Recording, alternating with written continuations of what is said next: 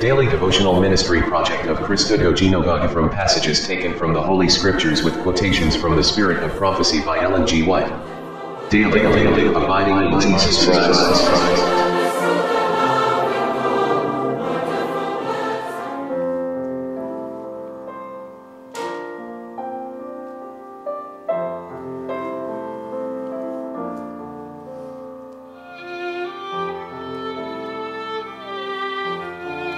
July 13, 2020.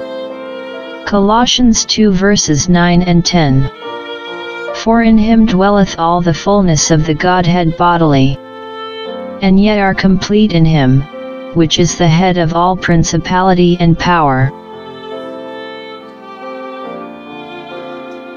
Quotation from the Spirit of Prophecy.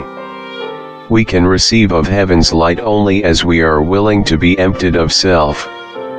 We cannot discern the character of God, or accept Christ by faith, unless we consent to the bringing into captivity of every thought to the obedience of Christ.